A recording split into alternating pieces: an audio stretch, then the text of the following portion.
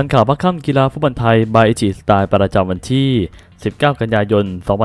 2567 โดยชายผู้บังคับรังฟุตบอลไทยครับ เรามาดูข่าวบอลไทยในช่วงของอเย็นวันนี้กันดีกว่าครับว่าจะมีข่าวอะไรน่าสนใจกันบ้างฟุตบอลไทย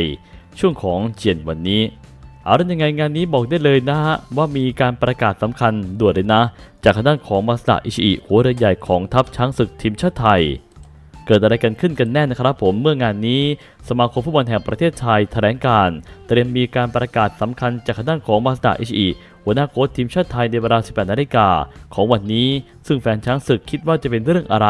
ซึ่งเป็นข้อความจากทางด้านของทางด้านสมาคมฟุตบอลแห่งประเทศไทย ขึ้นพาดหัว ด้วยตัวหนังสือสีน้ำเงิน แล้วก็พื้นหลังสีเหลืองเลยนะฮะ เพราะฉะนั้นแล้วต้องมีอะไรที่เด่นดังอย่างแน่นอน หรือว่าจะประกาศมีการโยกย้ายอะไรเพิ่มเติมไหมงานนี้ต้องไปรอฟังประกาศอีกทีหนึ่งนะครับ ในขณะนี้ ก็เล่นใหญ่นะฮะถ้าไม่เล่นใหญ่ก็ไม่ใช่สมาคมฟุตบอลไทยของเราเรามาดูประเด็นข่าวต่อมากันครับ ไทยดังไกลระดับโลกเลยนะ เมื่อบาเยนเมดิกได้โพสต์ถึงเจ้าน้องหมูเด้งไทยหลังเกมเดือด UCL โดยงานนี้ไทยดังสะเทือนถึงเวทีโลกซะแล้วนะฮะ แต่ไม่ใช่เกี่ยวกับกีฬานะผมกลายเป็นสำหรับทางด้านของสัตว์ชนิดหนึ่งที่เป็นแฟนอ่าแฟนๆของคนไทยทุกคนนะครับ แล้วก็แฟนๆของต่างประเทศด้วยในขณะนี้ ซึ่งเจ้าตัวนั้นก็คือน้องหมูเด้งนะครับผมลูกฮิปโปแคระตัวตึงของประเทศไทยที่กำลังโด่งดัง และก็ถูกพูดถึงมากในเวลานี้ เมื่อบาเยนเมดิกทีมยักษ์ใหญ่แห่งศึกบุนเดสเดริก้าเยอรมัน โพสต์ภาพน้องหมูเด้ง ลูกฮิปโป ตัวแคระตัวโปรดของคนไทย หลังทีมของพวกเขาเป็นทีมแรกที่ยิงได้มากถึง 9 ประตู นัดเดียวในศึก UCL โดยบาเยิร์นมิวนิกใส่ภาพน้องหมูเด้ง ลูกฮิปโปแคระตัวตึงจากประเทศไทย พร้อมใส่แคปชั่นว่า เมื่อหมูเด้งเห็นสกอร์เมื่อคืนนี้ โดยหลังจากที่สร้างสถิติเป็นเกมแรกที่สามารถทำประตูใส่คู่แข่งได้มากถึง 9 ประตู ในนัดเดียวของศึกยูฟ่าแชมเปี้ยนลีก เกมที่ทางด้านของเสือใต้บาเยิร์นมิวนิกก็เปิดบ้านเอาชนะดีนาโมซากร์บไป9ต่อ2 ในเกมรอบแบ่งกลุ่ม โดยเกมดังกล่าวแฮร์รี่เคนดาวยิงทีมชาติอังกฤษเหมาคนเดียวไปถึง 4 ประตู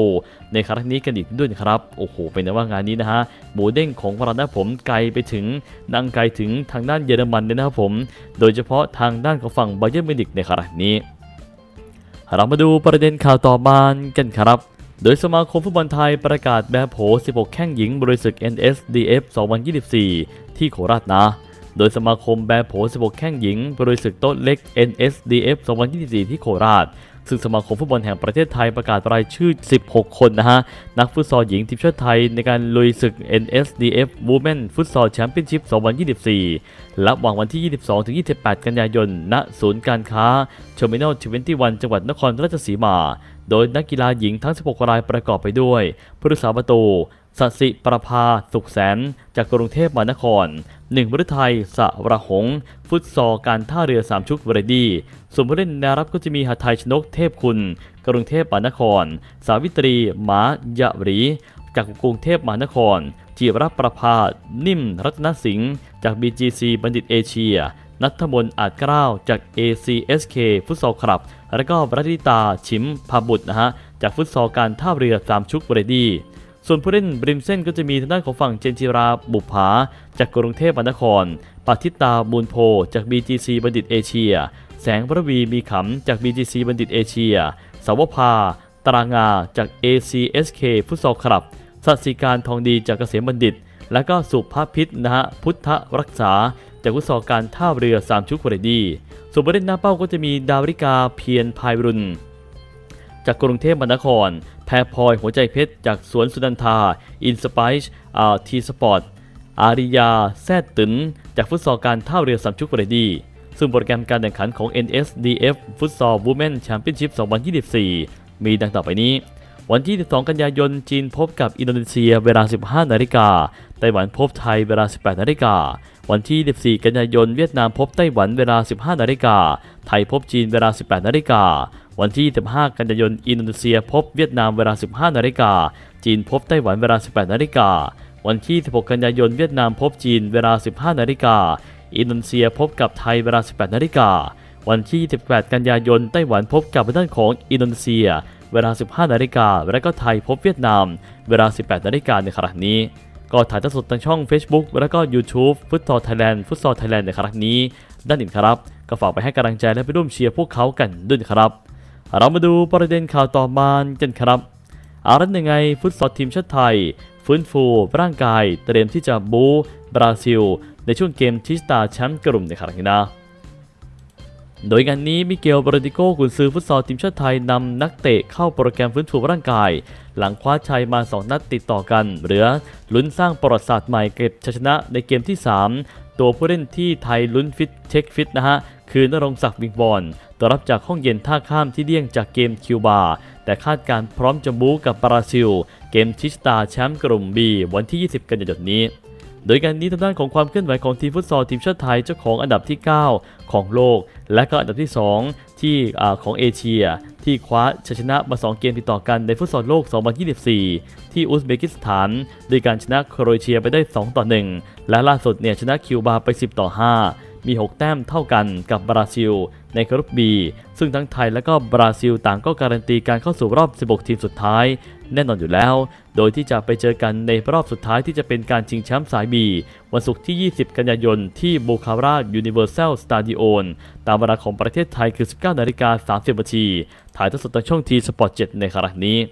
ล่าสุดความเคลื่อนไหวเมื่อวันพฤหัสบดีที่ 18 กันยายนนะฮะ ทางด้านของมิเกลโรดริโกกุนซือใหญ่ของฟุตซอลทีมชาติไทยได้นำนักเตะเข้าโปรแกรมฟื้นฟูร่างกาย ภายในโรงแรมวินด์แฮมที่เมืองบูคารา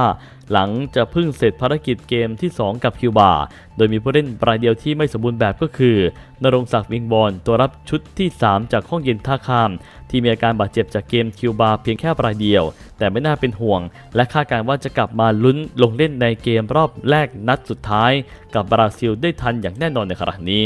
โดยมิเกลโรดริโกกุนซือใหญ่ฟุตซอลไทยได้เปิดเผย ถึงฟอร์มของทีมฟุตซอลไทยที่ชนะไป 2 เกมติดทั้งการชนะโครเอเชียไป 2 ต่อ 1 และก็ชนะคิวบาไป 10 ต่อ 5 พร้อมผ่านเข้าสู่รอบ 16 ทีมสุดท้ายแน่นอน โดยโค้ชมิเกลเปิดเผย บอกว่าคิวบาไม่ใช่คู่แข่งที่เรานั้นจะประมาทได้ แต่ว่าครึ่งหลัง เรานั้นดึงสติกลับมาได้รูปเกมก็ดูดีขึ้นเป็นอย่างมากผม happy ที่ลูกทีมกลับมาเอาชนะได้ในเกมเกมนี้ ส่วนเกมในครึ่งหลังก็ไม่ใช่งานง่ายของเรานะ แต่เราก็จะแสดงถึงความสามัคคีรวมพลังกัน และก็แสดงความสามารถออกมาได้เต็มที่จนสามารถเอาชนะไปได้ในขณะนี้ ตอนนี้เรามี 6 แต้มเต็มก็ดีใจมากครับทำให้หลายๆ ทีมเนี่ย อิจฉาเราพอสมควร เพราะว่าเรานั้นได้ผ่านเข้ารอบไปแล้ว ก็รู้สึกดีที่สุดแล้ว สุดท้ายก็ขอขอบคุณแฟนบอลชาวไทยทุกคนที่สนับสนุนพวกเรามาโดยตลอด มีเกี่ยวได้กล่าวชิงช้าย ส่วนมูฮัมหมัดอุสมานบูซา พ่อมดฟุตซอลไทยรุ่นที่ 3 ซึ่งคว้ารางวัล Player of the Match ในเกมนี้ หลังทำได้ 2 ประตู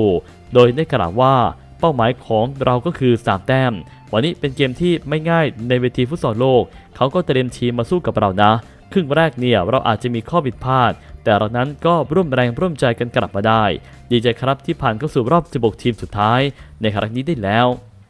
และไม่ว่าจะเจอกับใครก็เต็มที่อย่างแน่นอน เจ้าเม็ดคนนี้ก็ได้กล่าวทิ้งท้าย ส่วนด้านอิทธิชาประภาพันธ์รับผู้ยิงอสองประตูในเกมนี้เช่นกัน กล่าวบอกว่าดีใจครับเหมือนได้ปลดล็อกไป เพราะได้มาเวิลด์คัพเป็นครั้งแรกด้วย และก็ดีใจเป็นอย่างมากที่ทำประตูได้ ส่วนในรอบ 16 ทีมสุดท้ายก็จะทำตรงนี้ให้ดีที่สุดครับ ไม่ว่าจะเจอกับใคร ฝากแฟนๆชาวไทยช่วยเชียร์พวกเรากันด้วยนะ เราจะพยายามสร้างประวัติศาสตร์ในครั้งนี้ให้จงได้